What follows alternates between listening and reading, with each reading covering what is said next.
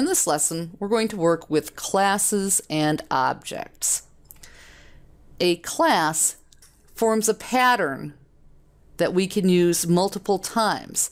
So a class is like a pattern for a dress, and we can create as many dresses as we want from the same pattern. Each dress would be an instance of that pattern. When we create the dress from the pattern, we would be said in programming to instantiate, or the process is called instantiation, and the each dress would be an object of the dress pattern or the class. So we're going to create a class named course.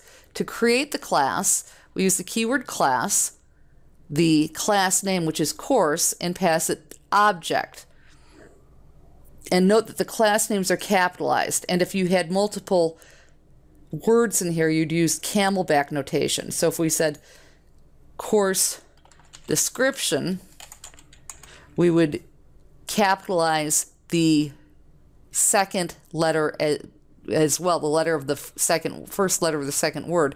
And they call it camelback notation because each word starts with the capital letter, which looks like the hump in the camel's back. When you create a class, you should have a doc string, which is a special kind of comment that explains what the class does.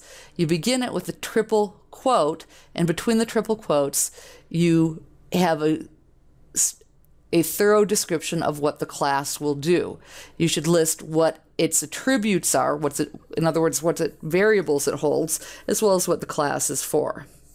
Then when you want to use a class, you'll create a single instance of it. Again, the process is called instantiation, and the instance is called an object.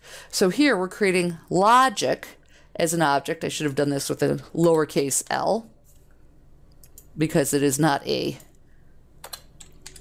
class, and only classes should be capitalized.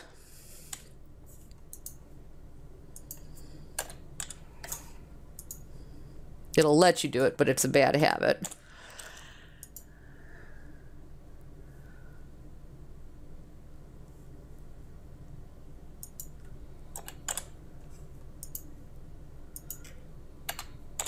Okay, so you can create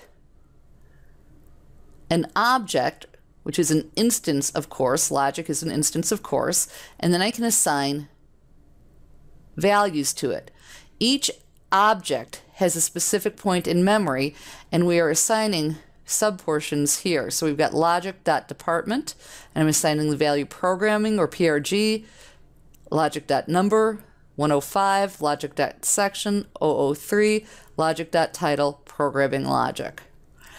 And we can use any of those attributes by including the logic with the dot notation, logic.department, we'd print logic.department. If you just print logic, you'll simply get a memory address. Let's see how it works. So we have PRG because we printed the logic.department, which we'd set to PRG. And then we have the memory location of the logic object you can create as many instances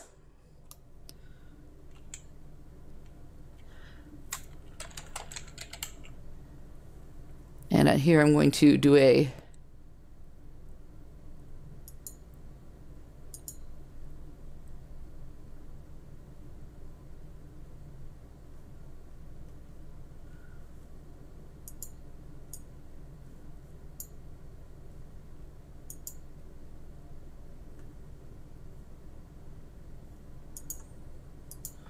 Control R, that's my replace. And so I'm going to find logic, and I'm going to replace with logic, all lowercase, replace all, and that is a nice thing to know how to do in here. Okay, so I've fixed that so my logic statement is lowercase. So I've copied the information from the first program over here, and I've added to it. I've now created a function called create course. I've created an instance of our course object, which I named C, and then I'm getting information from the end user to create and return the object that we created. So you can return a full object.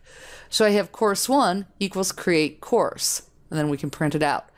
And then I have course two equals create course. So C is a temporary object variable, and those objects will be created into these new locations. And you'll notice that I can then print any of these. They do not replace each other. Each object is in a separate memory location, so I'm not overwriting any of the other objects. Let's give it a shot. So it's going to ask me for the department code, course number, section, title.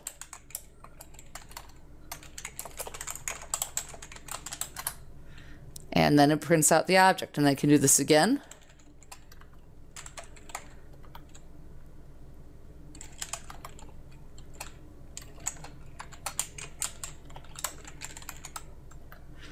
So I've created three instances of my class, or three objects. Each one of these is a separate object, and they can all exist at the same time. You can have as many objects of any given class as you'd like at any given time.